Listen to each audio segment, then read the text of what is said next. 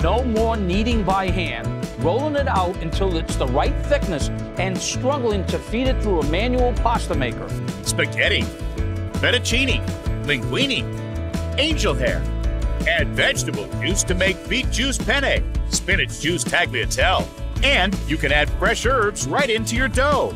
Make fresh lasagna noodles and use the same noodles to make ravioli and dumplings. Don't spend a fortune for fresh pasta from the store. You can make an entire pound that's eight servings for only 54 cents. This is going to change the way you cook.